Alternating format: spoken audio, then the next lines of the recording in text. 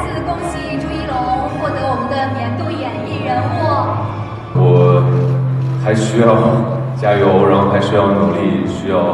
拍出更多更好的角色给观众然后我觉得时间不会辜负你你付出的努力不会辜负你观众就更不会辜负你。因为我个人觉得演员其实他这个职业就是不断的去塑造人物然后给观众带来新鲜感。对然后真的还有很多人物想去尝试一下